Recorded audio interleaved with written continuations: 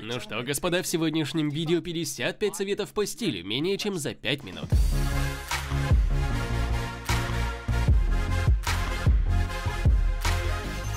Не бойтесь тратить хорошие деньги на основные предметы одежды, которые будут приносить вам комплименты каждый раз, когда вы их надеваете. Не бойтесь просить у людей одежду, которую они не хотят носить. Придумайте стиль для каждого дня, который будет отображать ваш посыл, который вы хотите донести. Когда вы начнете инвестировать во взаимозаменяемый гардероб и тратить хорошие деньги на туфли, между коричневыми и черными выбирайте те, которым у вас предпочтение. Спортивная обувь для зала. Зайдите в ювелирный магазин, который продает часы, и перемерьте все часы и примите решение для себя. Так или иначе, хотели бы вы их себе. Когда вы путешествуете, вам нужен привал. Сделайте остановку в аэропорту в люксовом магазине. В Цюрихе, Мюнхене есть магазины, куда вы можете зайти и посмотреть на люксовые вещи. Если у вас сотни часов и вы ими одержимы, в этом нет никаких проблем. Пейте больше воды, вы будете лучше выглядеть и чувствовать себя. Не позволяйте женщине выбирать свою одежду. Повседневный не значит неряшливый. Сдерживай желание исправить чей-то стиль, особенно на публике. Хотите улучшить стиль и получать комплименты? Попробуйте бутоньерку. Когда вы собираетесь утром, одевайтесь так, будто вас ждет важный день. Тяжелый вязаный свитер согреет вас, но он повседневный, и лучше на него ничего не надевать. А на легкий свитер с V-образным вырезом уже можно наслаивать. Используйте серый цвет. Это универсальный цвет, который подойдет к множеству различных вещей в вашем гардеробе. Не бойтесь добавлять цвета, особенно это касается свитеров. Что касается материала, хлопок наименее дорогой и самый простой в уходе. Шерсть дороже и сложнее в уходе, зато лучше сохраняет тепло. Не бойтесь покупать специальные средства для тела, особенно для кожи. Скажем, вы побрились, у вас началось раздражение, тогда вам нужен крем после бритья, где есть антисептик.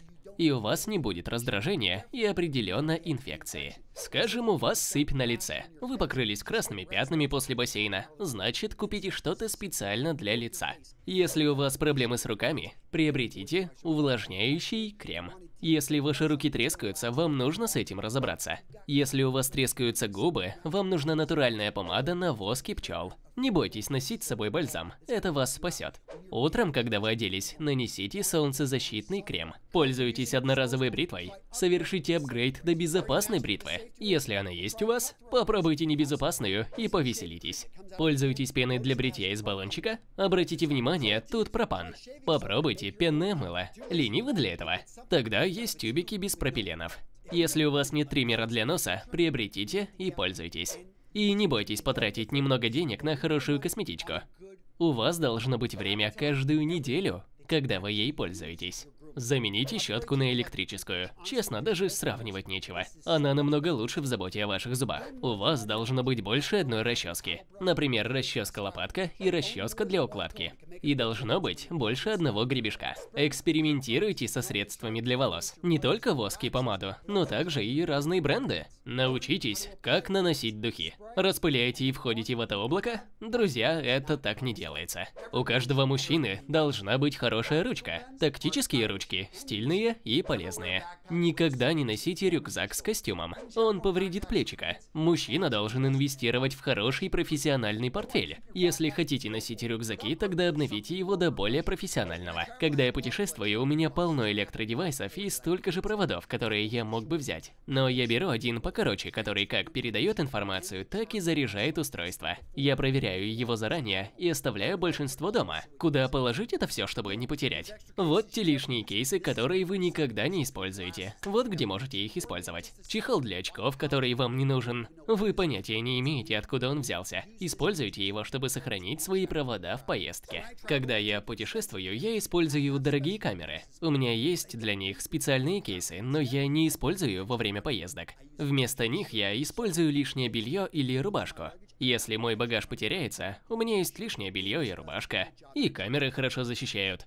Когда я путешествую, еда всегда со мной. Я стараюсь брать такую, которая долго время не портится и не боится помяться. Особенно это важно, когда с вами дети. Влажные салфетки, старомодный платок в вашем заднем кармане. Неважно, чихнете ли вы, нужно ли что-то подтереть. Вам они понадобятся.